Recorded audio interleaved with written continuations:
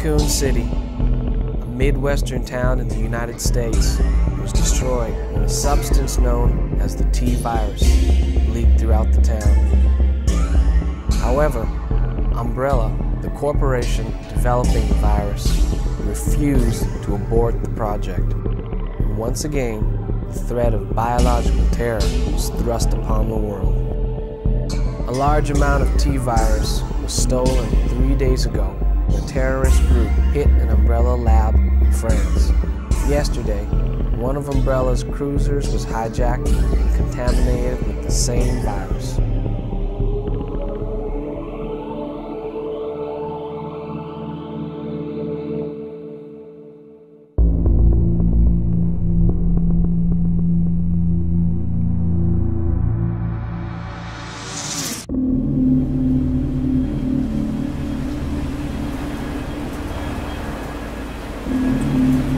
Why you American spies choose to use such ugly guns is still a mystery to me.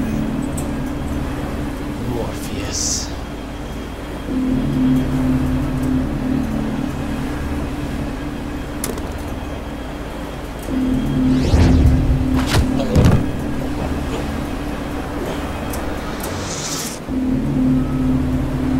That cheap you're wearing is going to your head.